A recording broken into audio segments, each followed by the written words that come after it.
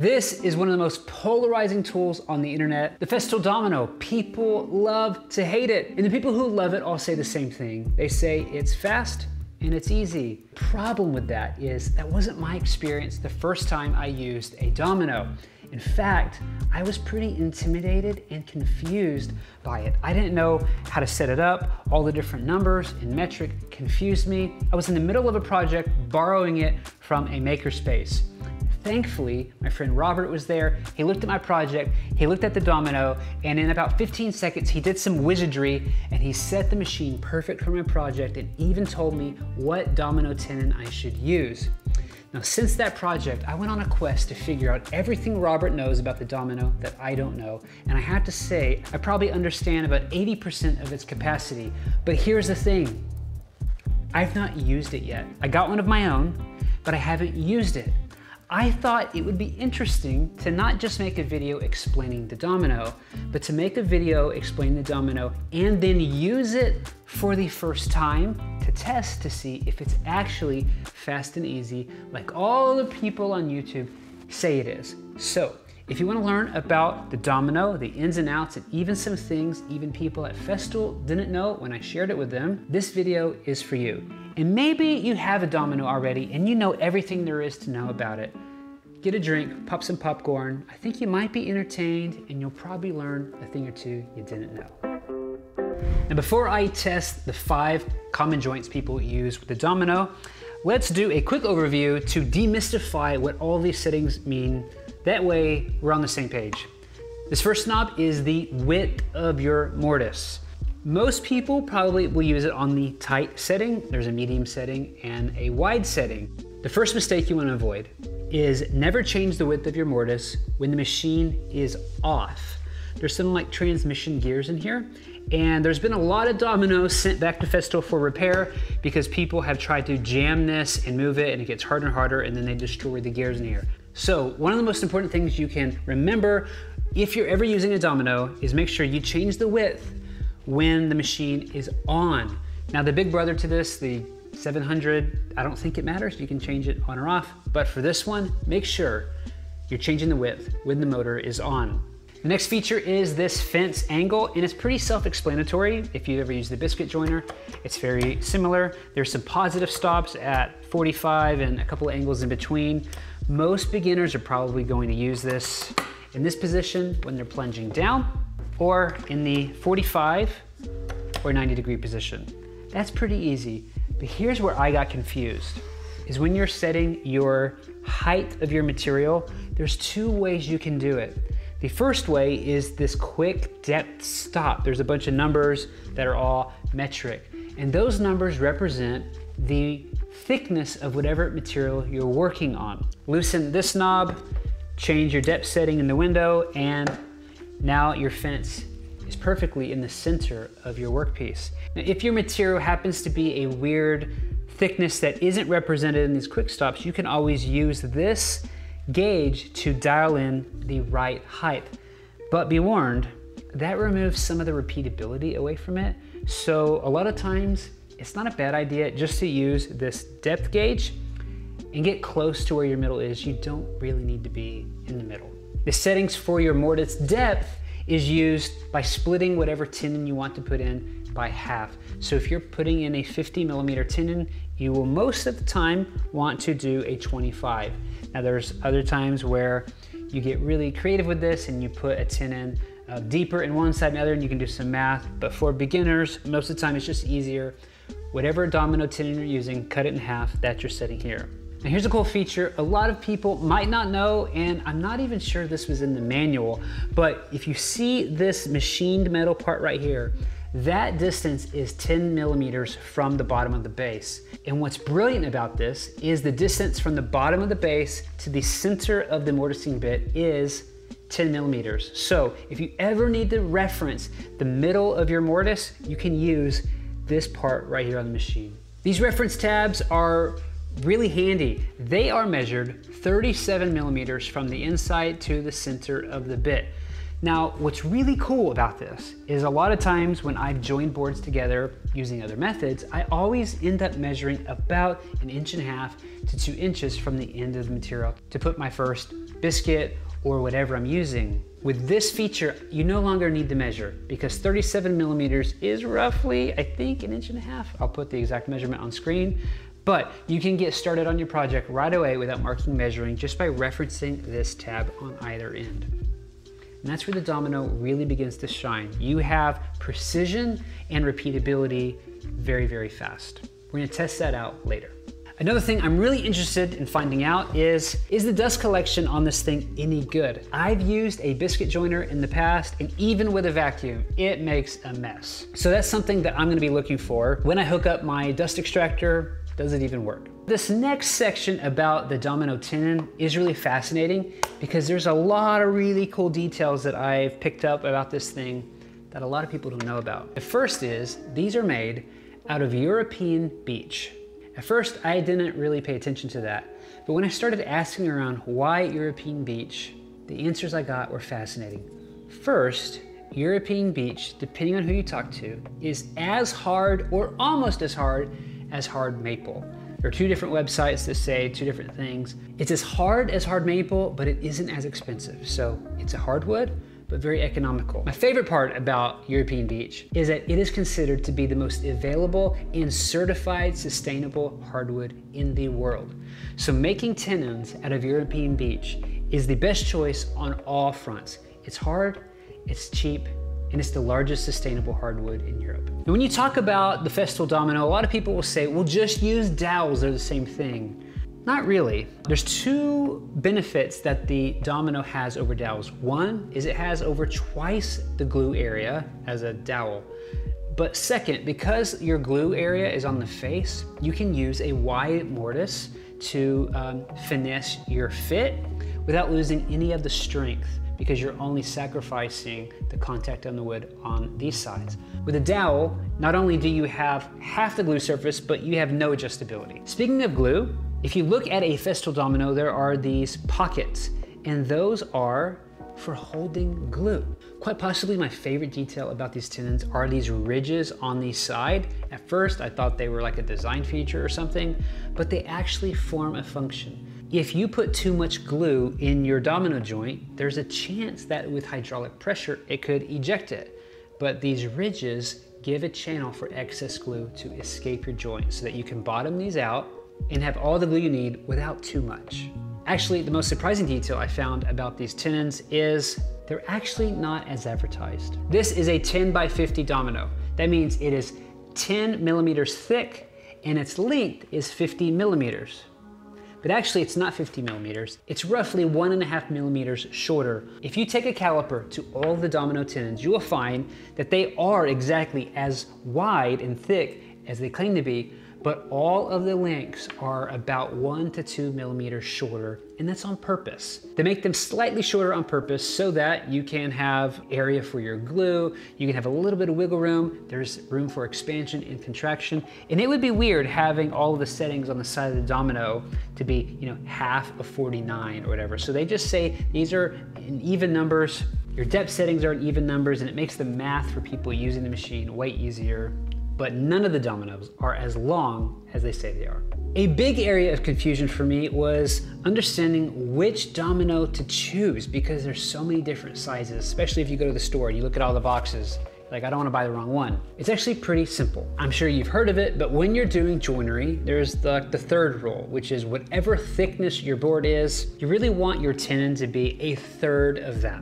So if you're working with 18 millimeter plywood, for example, a third of 18 millimeters is six. So you would choose a domino tenon that is six millimeters. Now, when the length matters is when you're putting pieces in like this. In that case, if you have 18 millimeter plywood, you don't want to use a six millimeter domino because most of the dominoes are six by 40. And what's half of 40? 20 millimeters. And if you were to uh, put 20 millimeters into an 18 millimeter sheet of plywood, you're gonna go all the way through. In that situation, you just wanna go down to the 5 by 30 where you put half of 30, 15 millimeters into the piece and you still have three millimeters on the other side. It gets kind of confusing, but once you start working with the wood and using this, it'll make sense. The common tenon sizes are 10 by 50, 8 by 50, 8 by 40, 6 by 40, 5 by 30, And then recently, I think Festool introduced a 4 by 20 I don't know like how recently, but I don't think the 4 by 20 was original. After studying this, what I uncovered is that when people go to use the 4 by 20 which when are people using tenons this small? It gets confusing because you don't have a 10 millimeter mortise depth. The lowest mortise depth setting you have is 12. And this is where Festool is kind of brilliant. If you look at all the cutter heads down from 10 millimeters, 8 millimeters, 6 millimeters, and 5 millimeters, they're all the same height, except for the 4 millimeter. The 4 millimeter is 10 millimeters shorter than all the others. That means when you go to plunge in with the 4 millimeter cutter head, you're going to be 10 millimeters shorter than what is on the tool. So all you need to remember, if you're ever using the 4x20s, is just set your machine to 20 millimeters in your depth setting. Because when you put a 4 millimeter cutter head in here, that is 10 millimeters shorter in its depth, and you go 20 millimeters, you have created a 10 millimeter mortise. The first mistake a lot of people make is they buy the domino and they jump straight into a project that they bought it for, and that's kind of asking for trouble. If you're new to the domino, like me, get some scrap pieces and test everything on scraps before you jump into your expensive hardwood project. Over tightening the cutter is another mistake people make. I'm kind of guilty of this. I always think the tighter something is, the better but apparently you don't have to over tighten, you just wanna snug it up. A big mistake people make is they don't dry fit their domino joints and they go straight to glue. And imagine the headache you would have if you cut something wrong, grabbed the wrong bit, or you chose the wrong setting and there's glue everywhere. Do yourself a favor and get in the habit of dry fitting all of your joints before you use glue. Now, you're going to run into an issue if you do this with a domino because the domino tenons are, at least the ones I have, they're about a millimeter wider than the mortise that is cut, which gives you a really, really tight fit. Now, one tip I've seen a lot of people do, and I'm going to do the same thing, is to get a little box like I have here, put some tenons in it, and slightly sand the ridges so that you can put these in and pull them out. On my first project that I used this on when I borrowed it, uh, I had a difficult time getting the dominoes out when I did a dry fit. So uh, sanding these down is a great idea. And then you can just mark on there, test, that way you know that domino is slightly looser than all the other ones and it's meant for dry fit testing. A big no-no that apparently people do on accident is thinking that they're referencing off of this plate and instead, because they're on the table, they're actually referencing off of this base. So a tip is to always have your piece off of the table. That way you can verify that you're referencing off of this fence and not accidentally referencing off of the base. Getting misaligned joints would be really, really frustrating. And I see people do that a lot when they're going through a lot of pieces. They don't mark which face they're referencing on. So it's a good practice to use a pencil or a piece of blue tape if you can't mark on a piece to always mark which is your top surface and always reference off of the top that way you never accidentally flip them over. This next tip is kind of counterintuitive because this looks a lot like the body of an angle grinder and how you would hold an angle grinder is like this. But what happens when you plunge like this is apparently you're placing a lot of pressure out of line. So if you watch the people at Festool and the pros who do this all the time, you'll see they actually push using the plug back here. That way they have pressure in line with the tool. If you're grabbing too high up, it would be easy to rack the tool out of alignment. And despite the popular trend, the patented Hibbs hip thrust probably isn't the best way to get a solid mortise on the domino.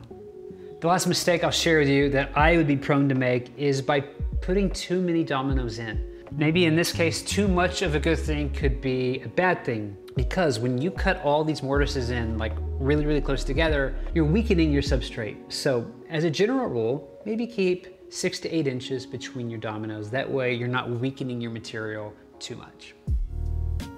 There are three pro tips that I uncovered when talking to people who have used the Domino for over 10 years, some 16 years, and they're really too cool not to share. The first is using the machine in loose mode. Now being a beginner, my thought is why would you want to use these extra settings when the tight mode is fine? And when I borrowed my friend's Domino for this first time that I used it, I actually could have used this advice. I did all of my dominoes on a seven foot piece of pine on the tight setting. And while I did get the alignment right, if I was slightly off on one of them, it would have been a disaster. And so what the pros do is on your first set of dominoes, do the tight setting.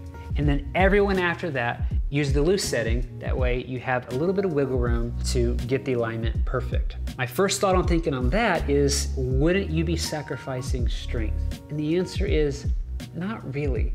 Because of where the glue face is on these tenons, you're not really going to lose any strength moving left to right because your height of your mortise is still very, very, very tight. I was asking Peter Millard about this, and here's what he said about the domino. My favorite way of looking at the domino is that it's a precision tool that lets you work loosely, not sloppily, but loosely. Now the kit that I got came with a lot of accessories. I'll show them in my test. These ones are really, really cool. They're called cross stops. They go on the base and provide a positive place for you to reference your existing mortise. If I didn't know about this, we just measure out where I want all of my mortises, draw a line, and then line them all up by eye. But with this, you don't even need to mark. You don't even need to measure. You can set your width right here, and then you put this pin in your mortise that you cut and go down the line, making quick work. Last pro tip I'll share with you that I thought was brilliant is I was talking to a friend at a local lumber store, and he was saying what he likes to do is he uses the domino in the widest width setting and that gives him a really, really wide mortise. And then he makes his own custom tenons out of European beech so that he can have thick tenons. All right, enough talking about the tool. I'm gonna take all that information that I have learned over the course of a couple of months studying this, and I'm going to try five different joints that are kind of common to using the domino. We're gonna see if I mess them up or if I'm able to get them right the first time. And if I mess them up, I promise I will show you, I won't hide anything. I'm gonna try to put this shelf permanently into this piece of plywood. And to do that, we're gonna use the 5 by 30 dominoes because if you did the next size up, the 6 millimeter, the 6 by 40s, what would happen is you would most likely plunge all the way through your shelf material. And instead of offsetting the depths, I think it's easier to just use a 5 by 30 and go in 15 millimeters into the shelf, 15 millimeters into the side. That's the easiest way. So let's put the 5 millimeter cutter head on.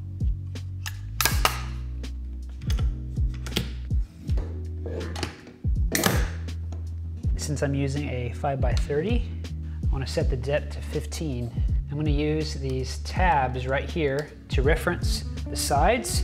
So we'll put a mortise 37 millimeters in here, 37 millimeters in here, no measuring, using the tight setting, and to reference the base.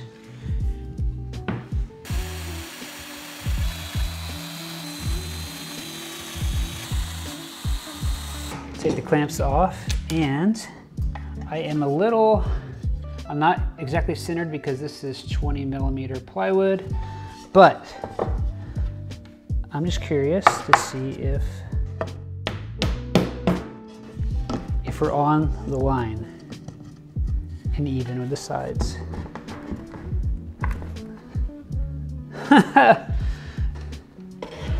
Look at that. I'm on the line. Very cool. And if you can see this, there's no ridge there. Now the cool part about this is there is no measuring and I'm exact right on there. So I'd say that's a success. I'm not the biggest fan of miter joints because I can never get them tight. So we're going to try this little guy and we're gonna use the 5x30 domino. I the five millimeter cutter head already installed. And what we're gonna do first is set our fence to 45 degrees. Since we did that, we are able to bottom out this. So hopefully you can see how it bottoms out and you get metal on metal right there. Tight setting, 15 millimeter depth. I'm honestly a little nervous about this one just because I know you can cut through. Referencing using those side tabs is really cool that you don't have to measure. Let's set up this next piece. The tip that I got was place this on and then pivot in like this. So that's been really helpful to make sure I'm registering off of that pin. So check this out.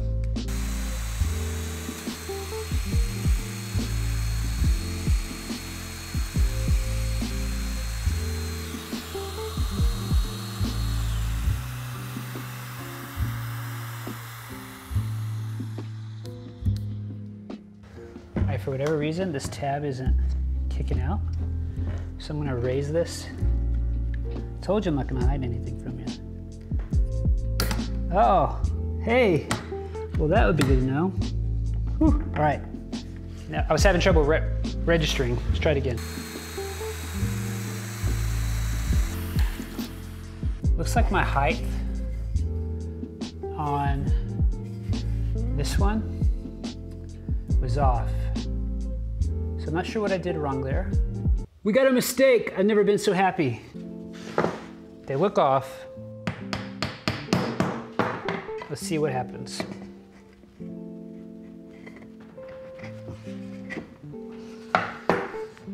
Oh yeah, okay. Okay, I don't know what I messed up, but I'm kind of glad I did because definitely that last one we did when I had to adjust for the tabs got something off. All right, so I just recut this last mortise, and as you can see, it's wide, but this is tight, this is tight, this is tight. I don't think that's really gonna matter. So let's see if we get a better alignment.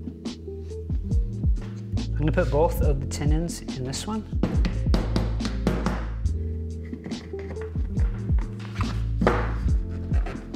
That did it. We got a perfect miter. Wow, that's actually probably like the best miter that I've ever done. It's hard to convey how that feels to be able to do a tight miter joint with something like this. This is without question the best miter I've ever done in my life. It is pretty flawless glue and a clamp, that would be perfect. No need to caulk it or paint it or touch it up. Pretty amazing. And even with messing up that one domino joint, it shows you just the power of uh, be, being able to have a precise tool, but also use it loosely, not sloppily, but loosely. And I was able to recut this mortise and some might actually want to do that because it gives you a little bit of wiggle room. So Man, I'm impressed. Let's try this miter joint, which is common, maybe like in picture frames. And we're gonna use the 8x40 domino. So we need to change the bit out of this. This currently has the five millimeter. I've already unplugged it. Let's change the cutter head. Do you wanna hear the coolest sound in the world?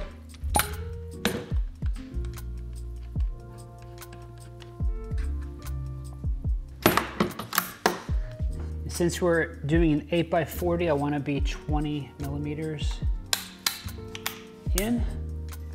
Set my fence to 90. Since this material is 19 millimeters, I'm going to round it up to 20 and just use the 20 millimeter depth stop. All right, this is interesting. So we had the tight setting on the far end because we're able to reference that. And then where I use my eye, okay. So if you're ever curious how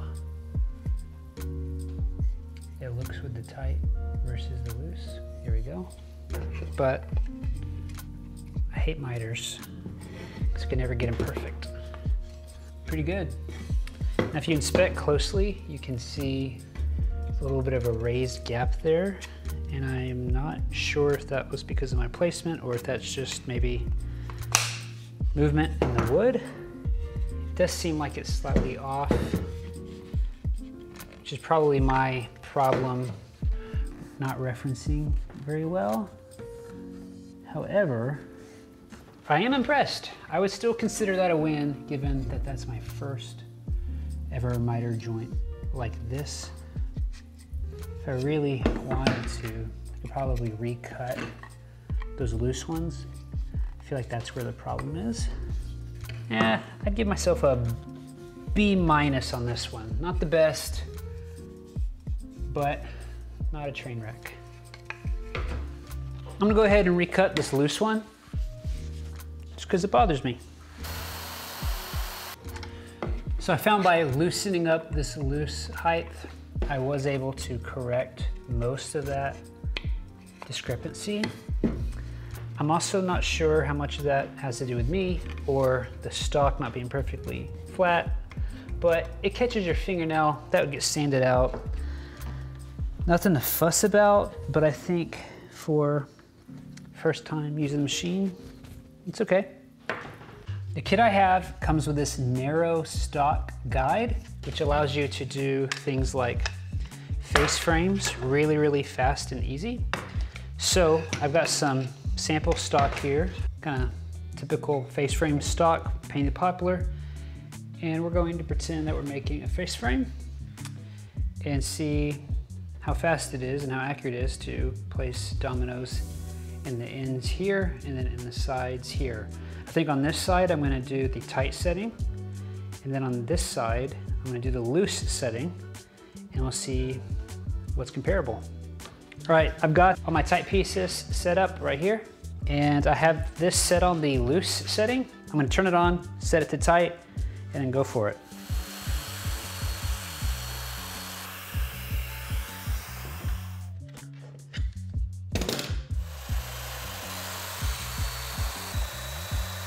I'm not gonna lie, I'm a little nervous about this one, just with the different, the tight and the loose, and there's a lot of things that can go wrong. So start with the tight. And we'll start with the first one. Second rail, wow, okay. The loose ones should be all good. it actually worked. So this is the tight side and it's perfect, perfect, and perfect. And then with the loose side, you can see there's lots of play. You can fine tune that. We're good there. And we're good there. And we have a face frame. I think I'll give myself an A on that one. I'm kind of surprised. All right, the one time that I have used the domino before this was gluing a panel up just like this, putting a domino in these joints. I've done this with biscuits before, which is kind of pointless. You can use dowels, you can just use glue. But when I did it with the domino before, I marked and measured out all my mortises and then tried my best to line up all the lines using the tight setting and I actually got it.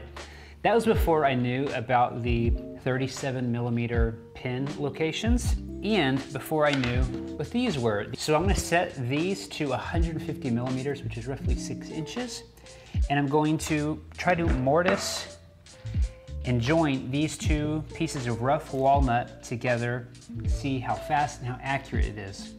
I'm also gonna do a trick where you do the first one on the tight setting and then all the other ones on the loose setting, which is a pro tip I got. Also interesting is uh, these are cutoffs from an old project. There's a slight warp in them and only one face and one side is jointed and planed and they're different thicknesses. So I'm going to reference off the top and when we're done, the bottom will be a different thickness and then I can run that through the planer. All right, these cross stops are pretty cool and pretty easy. You just set them on the wing like that turn the knob towards you. And what's cool is these have little indentions every millimeter. And so I'm setting that to 150 I can use these pins as references in my mortises.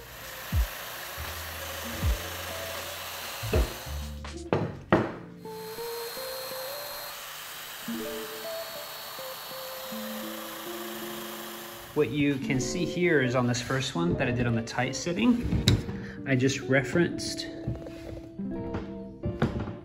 like that. And that gives me a tight mortise, 37 millimeters from the edge. And then using this cross stop, I reference, I register inside there. And then now my spacing is automatic because I set it at 150 millimeters. Now we'll say it is odd using these cross stops and not marking or measuring, doing that for the first time. But I trust the system and I'm curious to see how this worked out. To my eyes, they look pretty lined up. Here's all the loose settings that were done with the cross stops. And then there's the tight ones. And what's great about this is if you can see on the back side, these are not even close to being the same height, but the face and the inside are jointed and planed. So they should mate up with the domino because I referenced off the top, they should mate up fine and then I can plane the bottom. So let's put some dominoes in, see how we did. And no surprise, that's good. And then we'll move on to the loose ones. I'm using an 8 by 40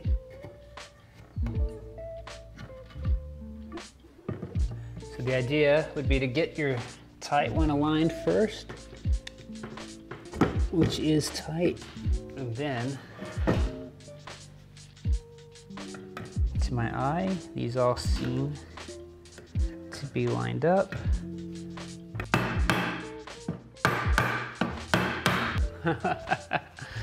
I've always heard people talk about, I use dominoes for alignment, and now I totally get what they're talking about because I was able to align the face of this while the bottom isn't even close to being similar. It's all rough. So I could glue and clamp this piece up and then run this through my planer on the bottom and have a milled up board.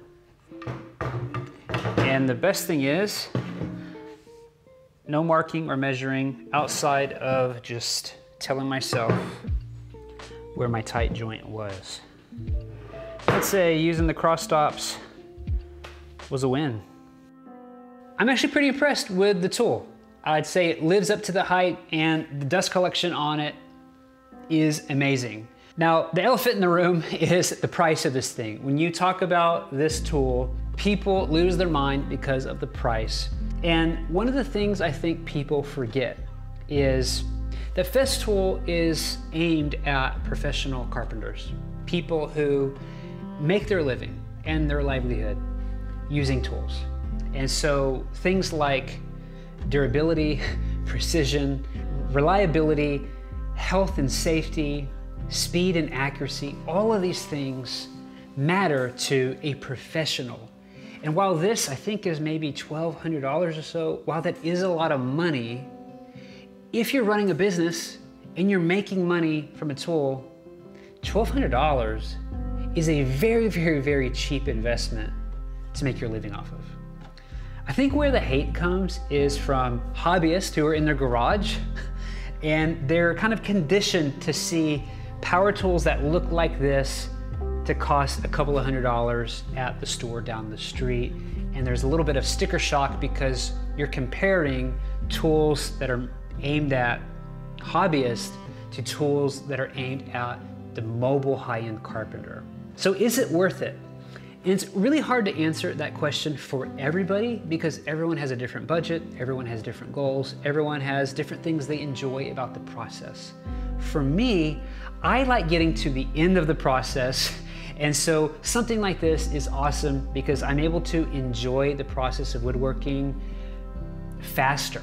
I don't enjoy hand cutting things and taking a long, slow time doing woodworking projects. I like to be moving, I like progress, and I like to see a finished product. So for me, whose passion and hobby is woodworking, and I don't mind investing in things, even if I need to sell other tools or do side projects or, or do whatever to be able to afford it.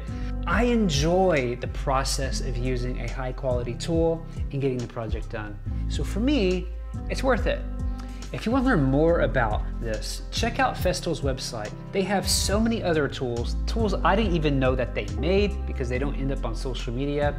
I'll leave a link to their website. Go check them out. I've gotten to know um, some of the people who work for them, and I gotta say, I have been so impressed, not just with the tools and the company, but also the people behind the company. Out of all the tool brands that I've worked with and I've interfaced with, the best people work for this company.